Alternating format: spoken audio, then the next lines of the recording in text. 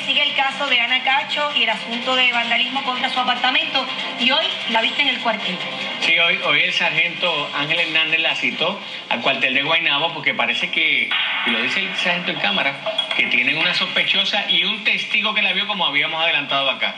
Ana estuvo allá, la notamos bien parca en sus comentarios, sus abogados dijeron que no hablara, pero le sacamos algunas palabritas, vamos a ver. Cuartel de la policía de Guaynabo. De hecho, eh, ya mismo llega Ana Cacho. ¿Por qué? Porque hay un agente del 6 el sargento Hernández, que está investigando el puertacidio, o sea, la persona que hizo daños maliciosos en la puerta de- del apartamento que ocupaba Ana Cacho en Caparra, que te sitúan a ti como si fueras una mujer mala, que, que le había hecho daño a tu hijo. ¿Qué, qué reacción tienen a Pero es que eso? no te puedo hablar nada de eso, de verdad. Perdona. Perdona. Una. Ana, tranquila. Sí, estoy tranquila, Leo. Gracias. Vienes al proceso de la, de la persona que te escribió la puerta. ¿Lo viste como una amenaza eso? No puedo comentarte nada de eso. No está en mí. Hablar con el investigador, pero gracias. ¿Tienes esperanza en que pronto recupere la niña? Nunca he perdido la esperanza ni la perderé. Ni que se sepa la, la verdad de mi hijo. Pero gracias. No puedo hablar más. Gracias. ¿Cómo va la investigación? Este, estamos pendientes ahora para entrevistar a la señora Cacho. Eh, inmediatamente que la entrevista, pues vamos a continuar con, con las otras personas que nos hacen falta todavía para, para investigarla. Y de ahí, pues, realizar entonces el informe pertinente para ver en qué podemos sacar de esta información que nos han dado hasta ahora. Nosotros sabemos que la policía tiene un testigo que aunque no lo hayan, han identificado, aparentemente vio a una persona sospechosa, una dama, frente a la puerta de Ana Cacho a eso de la filo de la medianoche. ¿Ustedes están investigando ese ángulo en este momento? Ahí, correctamente. Se está investigando ese ángulo, estamos tratando de dar con la persona y esa persona había sido entrevistada anteriormente. El testigo. Correcto. Testigo había sido investigado anteriormente y estamos pues tratando de dar con él de nuevo para entonces eh, hacer una segunda entrevista, porque nos surgió esa información. ¿Ustedes esperan entonces que en los próximos días este caso esté esclarecido? Yo entiendo que esto no, no, no, no debe pasar de, de varios días para que nosotros podamos este, dar un informe final con relación a esto.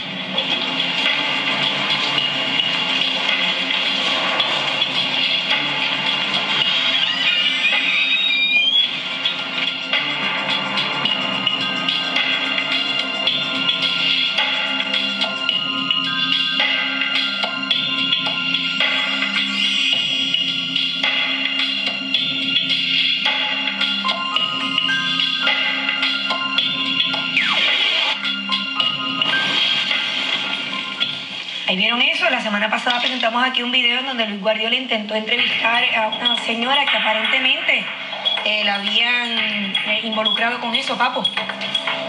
Bueno, este, aquí no hay mucho que contar, simplemente ella está muy parca, como dice Leo, porque yo creo que la experiencia ha demostrado que la medida que ella habla sobre los asuntos que le competen, más en redes, son casos legales, no le conviene emitir comentarios, este, y ya se abrirán puertas, si es como dice la gente investigadora, que la investigación está bastante adelantada, pues mira, nos alegramos porque dentro de todo lo que es el caso de Aracacho, que algo se esclarece que es casi un milagro. Ahora, eh, otra solici- solicitud que hicieron el día de hoy fue la, los abogados de Anacacho una, dedicaron una moción de reconsideración ante la sentencia que se había emitido eh, por la jueza Sonia del Toro, en la que se le privaba a ella la custodia legal permanentemente. Así que está ella buscando con mucha esperanza que, pues, que le den esa opción de que pueda una vez más reunificarse con, con la niña. Leo, algo que ella te haya dicho que, que no haya salido en cámara o que tú hayas visto por ahí, movimiento en el cuartel. Bueno, ella, ella sí me confió, ya fuera de cámara, conversamos, que ya esta semana se hace un año de que las niñas no están con ella, de que ella no tuvo la oportunidad de despedirse de las niñas. Y yo le pregunté también de, decía la doctora Caldal, de todas aquellas cosas que decían que si mamá, que si vio, que si no vio, que si hizo daño al nene, que si no hizo daño. Eh, aunque ella no puede comentar sobre el particular en lo que van a presentar en el Tribunal de Familia, se van a saber muchas cosas interesantes. Lo otro, oigan bien, parece que la policía tiene un ángulo que está investigando de que una reportera se reunió antes con esta señora que es sospechosa de escribir en la puerta de Ana Cacho y que después esa misma señora que dio acceso a la reportera y a otra persona más para que subieran al edificio, que no todo el mundo entra ahí, para que entonces tomaran fotografías y grabaran la puerta vandalizada. ¿Qué de interesante tiene? Si la señora habla y dice todo lo que sabe, pues hay unas personas que van a estar en apuros.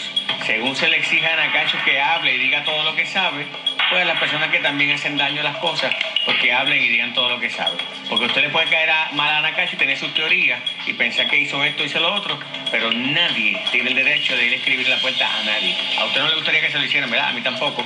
Y a Ana tampoco. Vamos entonces a otra información.